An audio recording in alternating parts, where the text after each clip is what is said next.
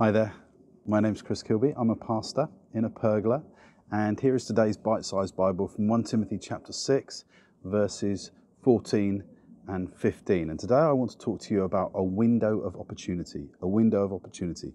Let's see what the Apostle Paul says. He says this to Timothy I charge you to keep this command without spot or blame until the appearing of our Lord Jesus Christ, which, he will, which God will bring about in his own time. So, Paul is drawing here towards the end of his letter to Timothy, and he's now charging him to put into practice everything that he's exhorted him to do. But he makes it clear that he says, Timothy, this isn't going to be forever.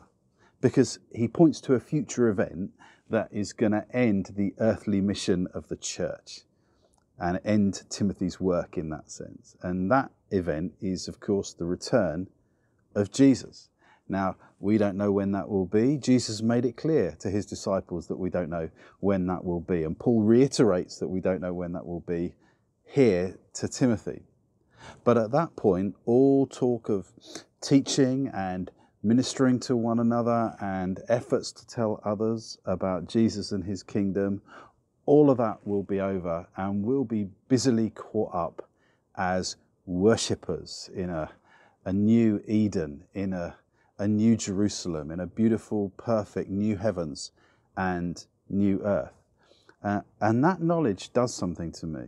You know, knowing that one day this window of opportunity for ministry and mission will be over.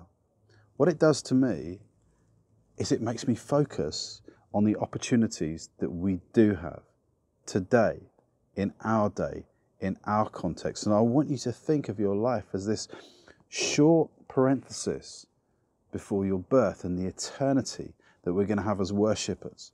How long do we have? Don't know. Jesus said we don't know. Paul says we don't know. I'm telling you, you don't know how much you've got. So, what can we do with that? We can say, Well, I've certainly got yes than I had yesterday, so I'm going to crack on. So, I want to encourage you today. We have a window of opportunity between the incarnation and the second coming, the church age. We have this moment, this window of opportunity. And as Paul said elsewhere, make the most of every opportunity. Yes, we have worship to look forward to in eternity, but let's not miss this window. Let's do all we can to love one another, serve one another, and advance the kingdom of Jesus in our day, in our place, because one day he's coming back, he's going to wrap all of this up. That was today's bite-sized Bible from 1 Timothy chapter 6, verses 14 and 15. My name's Chris Kilby, a pastor in a pergola, and I look forward to seeing you next time.